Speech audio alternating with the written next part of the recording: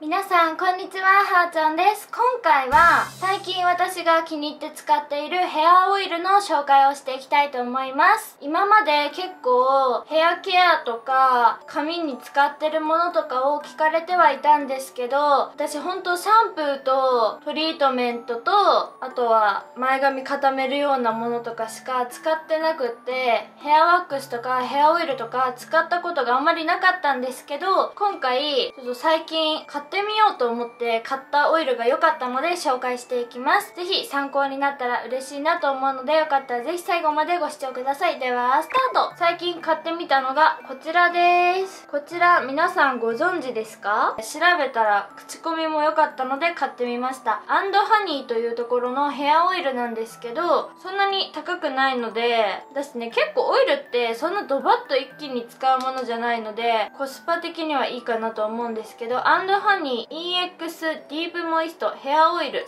3.0というこれはオーガニックオイルを100%使用してたりとかなんか蜂蜜の美容ケアらしくて80%がマヌカ蜂蜜10%がアカシア蜂蜜10%が生蜂蜜らしいです。まあもうほんと蜂蜜のオイルなんですけど蜂蜜美容ヘアオイルナンバーワンベストセラーっていう超しっとりまとまるって書いてあるんですがで使いい方としては普通に髪セットした後につけたりしてもいいかなと思うんですけど私は調べたら髪を乾かす前濡れてる髪にこれをつけてから乾かすとサラサラになるという記事を見てそれをやってみたんですけど確かになんかしっとりしてサラサラするなっていう感じはありました。ちょっとでは手に出してみたいと思うんですけどこういう感じ結構出しすぎちゃったんですけどこういう感じのオイルです。で匂いはねなんかグランローズ蜂蜜の香りって書いてるんですけどで結構まあオイルなのでこんなに出さなくていいんですけど濡れた髪につけてでドライヤーしてます私は。前髪がオイリーに見えるのが嫌なので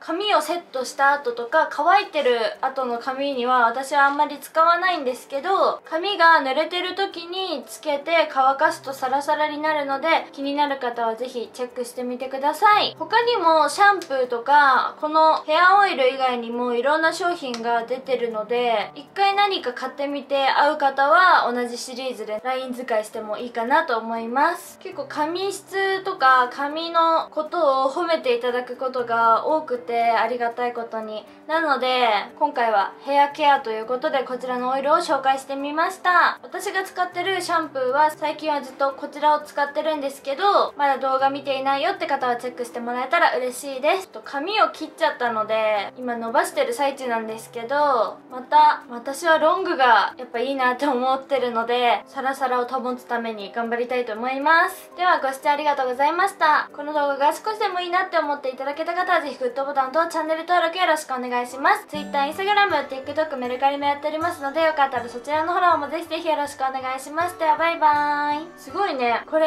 甘い香りなので乾かした後もこの匂いが続く感じなので髪がいい匂いになるかなと思います。でもその代わりシャンプーの匂いをずっと残したいっていう方はこの匂いになっちゃうかもしれないのであれなんですけど結構ミニサイズなんですけど結構入ってるのでたっぷり使えるかなと思います。バイバ